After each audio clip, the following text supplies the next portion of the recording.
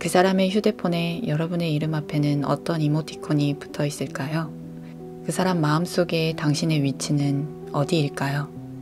상대의 마음을 알 수 없는 상황에서의 사랑은 참 어렵습니다. 오늘 영상에서는 감정을 숨기는 상대의 마음을 알 수 있는 7가지 신호를 소개합니다. 영상을 끝까지 시청하면 여러분과 상대가 같은 마음을 가지고 있는지 확인할 수 있을 것입니다. 그 전에 이 채널에 처음 오신 분이라면 구독 버튼을 눌러 인간의 생각과 행동의 과학적 원리에 대한 유용한 insight를 얻어보세요. 그럼 시작해 볼까요? 개인적인 이야기를 합니다.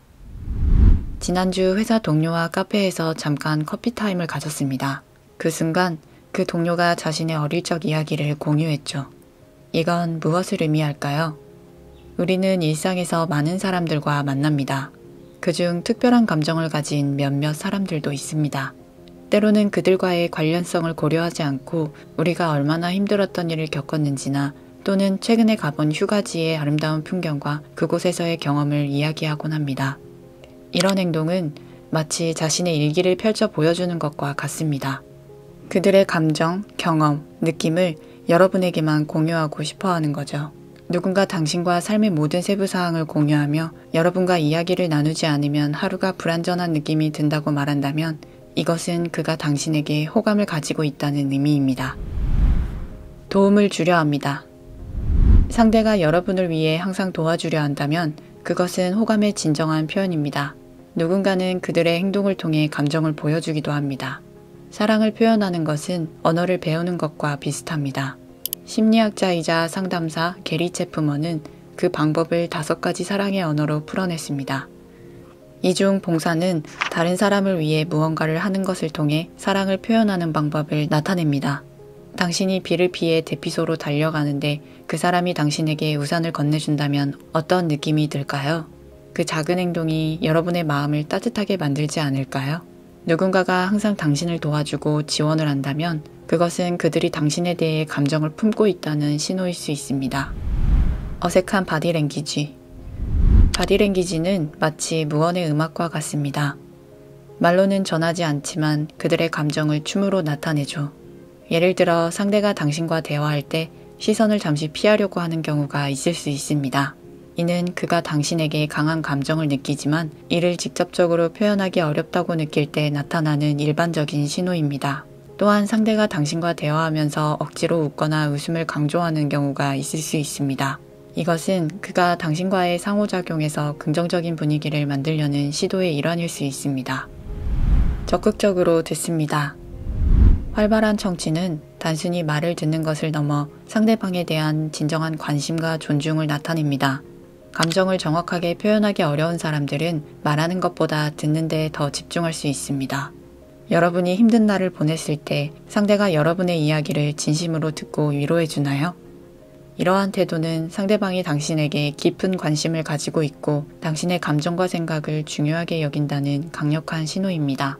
이는 그가 당신과의 관계를 더욱 깊고 의미 있게 만들고자 한다는 뜻일 수 있습니다. 당신과의 시간을 우선합니다.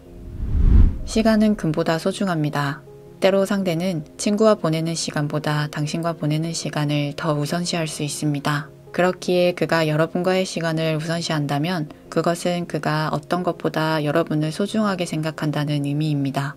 만약 여러분도 상대에게 호감을 느낀다면 둘만의 시간을 제한하고 여러분도 그에게 매력을 느끼는 것을 암시하는 힌트를 주는 것이 좋습니다. 중요한 것은 상대방의 행동을 해석하는 것에 있습니다. 여러분에게 호감을 품고 있다는 신호를 발견했을 때도 너무 성급한 결론을 내리지 않는 것이 중요합니다. 상황과 상대의 행동을 종합적으로 고려하고 상호작용을 이어나가며 서서히 관계를 발전시키는 것이 좋습니다.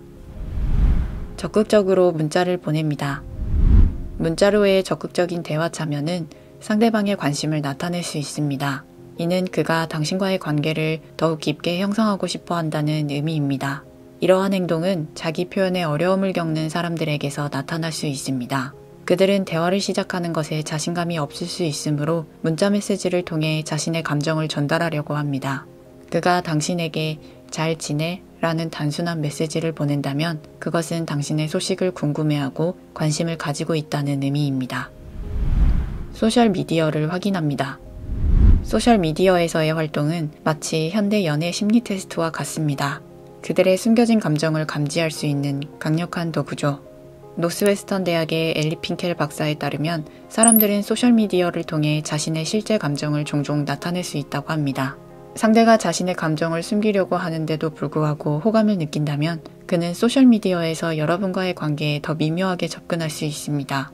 그가 여러분의 포스트나 스토리를 주기적으로 확인하거나 참여한다면 이것은 그가 당신에게 호감을 가지고 있다는 간접적인 증거가 될 수 있습니다.